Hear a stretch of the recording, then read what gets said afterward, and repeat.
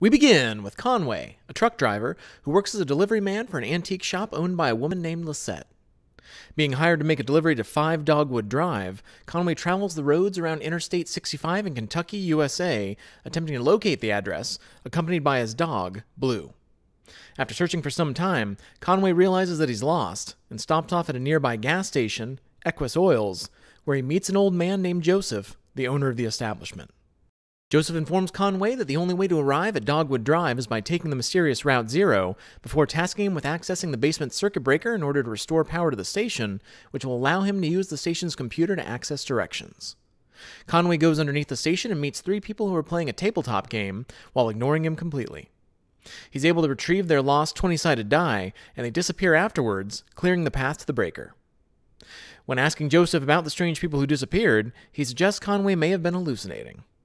Per Joseph's instruction, Conway uses the computer to locate the directions of the Marquez farm in order to talk to Weaver Marquez, who has a better understanding of the roads. As Conway leaves, Joseph tells him that he loaded a TV into the back of his truck to take to Weaver. Conway drives to the Marquez residence and meets Weaver, who asks him a number of questions before he finally asks her about directions to the Zero. She has Conway set up the TV, and when Conway looks into the screen, he sees a vision of a strange farm. When he regains his senses, Weaver informs him of her cousin Shannon, who fixes TVs, and gives him directions to the Zero before suddenly disappearing. Arriving at the location Weaver directed him to, Conway discovers the area is an abandoned mine shaft called the Elkhorn Mine. He locates Shannon Marquez, who's been exploring the mine in search of something she's lost. Conway decides to help Shannon travel deeper into the mine and uses the sound waves from a public address system to measure the size of the tunnels, which causes a portion of the mine to collapse.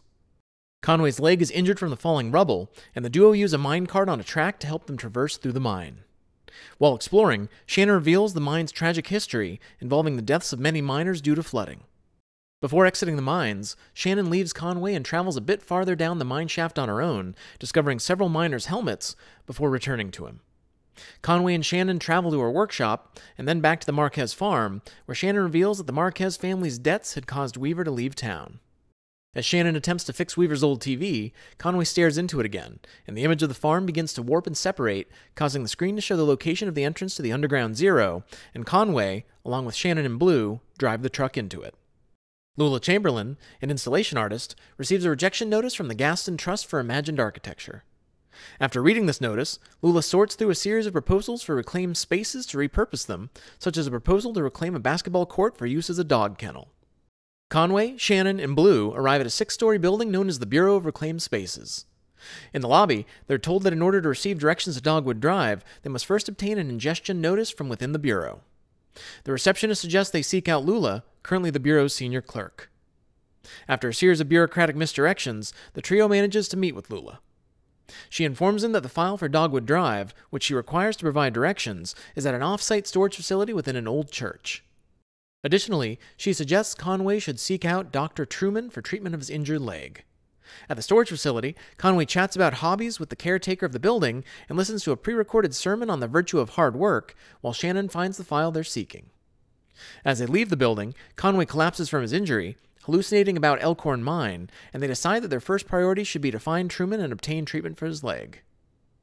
Returning to the bureau and finding that Lula is no longer there, the receptionist tells the trio that Truman can be found at his house off of Interstate 65, leading the group to leave the Zero, returning above ground in search of Truman. Arriving at Truman's last known address, the group discovers that the doctor's house is no longer there, instead, finding the Museum of Dwellings. While searching the museum, they encounter a young boy named Ezra, who claims that his brother is Julian, a giant eagle. Ezra tells him that Truman now lives in the forest and offers to fly them there using Julian. The group accepts, and after traveling a long distance aboard Julian, lands in the forest. As Conway's condition worsens, Shannon helps him along, and the group finally locates Truman's house, where he tells Conway that his injury is severe but treatable and prescribes him an anesthetic called Neuripnol TM.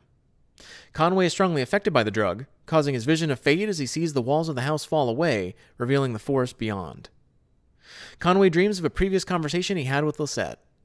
The two recall a tragic event involving Charlie, Lysette's son, and Lysette informs Conway of a new delivery to be made, which will be the final delivery of Lysette's antique shop. Conway awakens from the Neuripnol TM induced sleep at Truman's house to find his injured leg replaced with a strange skeletal limb giving off a yellow glow. After returning to the Museum of Dwellings and finding it closed for the night, the group resumes their search for Lula in Conway's truck. The three are quickly stopped again, however, after the truck's engine breaks down. While Shannon calls for a tow truck, two musicians, Johnny and Junebug, pass the group on a motorcycle with a sidecar, and after some discussion, decide to help the group get the truck moving again in exchange for following them to the lower depths bar to watch their performance. The group agrees, traveling to the lower depths and talking with Harry, the bartender, who provides them with directions back to the Zero. After their performance, Johnny and Junebug decide to accompany the group on their travels. Upon returning to the Zero, the group comes across a large cave with a huge rock spire known as the Hall of the Mountain King. There, they find various types of vintage electronics in varying states of disrepair, including a large amount of them set on fire. They come across an old man named Donald, who appears fixated on a grand computer project involving a machine that's enhanced by black mold growing inside of it, as well as a piece of software designed to be a comprehensive simulation called Xanadu. Donald claims that Lulu is one of the people who designed Xanadu along with him, and that even though she left a long time ago, there may still be a way to locate her using it.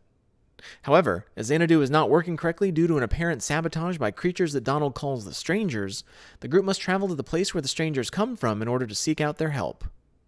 Conway and Shannon talk to the strangers, who tell them to scrape the mold off the machine's timing crystal, and after traveling back with the group to the Hall of the Mountain King and fixing Xanadu, they use it to locate Lula. With Donald's help, she finds the directions to Dogwood Drive and tells the group to meet her back at the Bureau. After arriving at the Bureau, Conway receives Lula's directions, which involve taking a ferry from the Bureau down a river. While waiting for the ferry, Conway reveals to the rest of the group in greater detail what happened while he and Shannon were talking with the strangers. They located a hidden elevator in an old church, which led to an underground whiskey distillery staffed by odd, glowing skeletons, identical in appearance to Conway's new leg. While at the factory, Conway was mistaken for a new hire shipping truck driver, coerced into drinking a very expensive whiskey, and was subsequently forced into a job driving trucks for the distillery to pay off the debt. As he informs the group that he must start his new job in a few hours, the ferry arrives. The group boards the Mucky Mammoth tugboat ferry and rides it as it travels along the underground river known as the Echo, with the boat's captain, Cate, her assistant, Will, and a passenger named Clara, who plays the theremin, a musical instrument. They make several short stops along the way a floating refueling station, a tiki bar called the Rum Colony, a waterside telephone booth, a psychological research facility called the Radvansky Center, and a cypress covered island rich with edible mushrooms. Cate needs to deliver a package to a telephone exchange station located in a flooded train tunnel, but the tugboat can't pass through the area without disturbing a protected bat sanctuary, so Conway and Shannon agree to take a dinghy through it to reach the station.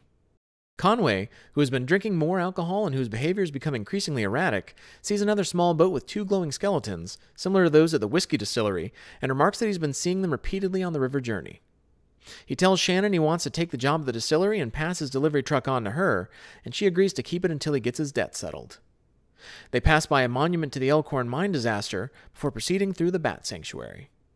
Shannon delivers the package to Poppy, the only remaining telephone operator, but when Shannon turns around to reboard the dinghy, she finds that Conway is now completely turned into a skeleton and has boarded the small boat with the other two skeletons, proceeding to depart with them instead. Shannon continues down the river alone on the dinghy, reuniting with the rest of the Mucky Mammoth passengers and crew at Salmonida's, a seafood restaurant.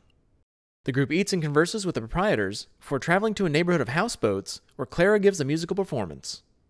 Their last stop is the silo of late reflections, where Shannon, Clara, Johnny, Junebug, and Ezra all disembark, pushing Conway's truck off the boat as it won't start up again. As there is only a spiral staircase leading to the surface from the silo, the group is unable to proceed with the truck. Nevertheless, Shannon resolves to continue trying to make Conway's delivery to Dogwood Drive, and so the group unloads the delivery items from the truck, carrying them up the stairs on foot. After the group hauls all the contents of Conway's truck to the top of the silo, they discover it's actually a well in the center of a small town. While exploring, they finally discover and arrive at 5 Dogwood Drive, an empty and abandoned house in the town that stands new and pristine, despite the rest of the town sustaining heavy damage from a flash flood. The group meets and converses with the remaining town residents, learning about its history and landmarks, including a graveyard, a library, a waffle restaurant, an airstrip hangar, and a public access television station. Both the group and the residents debate on whether or not they will stay to try and rebuild the community or leave in hopes of finding better lives. One of the residents, Ron, digs a grave to bury the neighbors, two horses that were fixtures of town life and who died in the flood.